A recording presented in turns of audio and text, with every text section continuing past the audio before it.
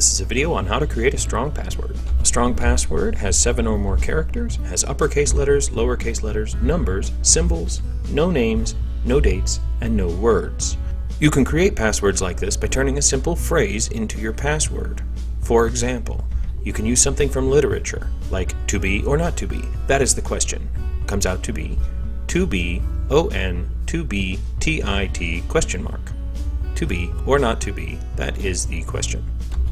Or a song lyric, for example, Wake Me Up Before You Go Go, becomes W-M-U-B-4-U-G-G, exclamation mark. A quote from a movie, Say hello to my little friend. S-H-2-M-L-F, exclamation mark. Or you can use a scripture reference, for example, John 316. How many passwords do you really need to have? Security experts recommend one password for each website. You can use the trick I taught you before to create a base password and then add a site code to the end of that password. For example, if my base password is capital BMW 256 dollar sign and my website code is the first two letters of the website, Amazon becomes capital BMW 256 dollar sign capital AM.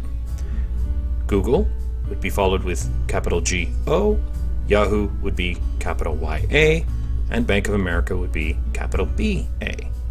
Another option for a website code would be the number of letters in the website. So for example, Amazon would be followed with 6, Google would also be followed with 6, Yahoo would be followed with 5, and Bank of America would be followed by 13. Using this method, you could create an easy-to-remember password for every website you visit. Another alternative would be to create password categories. You would create four unique passwords using the first method, and then apply each one to a category. A category may be a work password, which would be for your work computer, your work email, any servers or documents. You would create another password for your personal use, your personal email, your phone or your tablet, your computer, or your iTunes account. You would create a password that you're comfortable giving out to your family for things like Netflix, or the security system, or your utility companies. You would also create a fourth financial password for online banking, credit cards, PayPal, and shopping.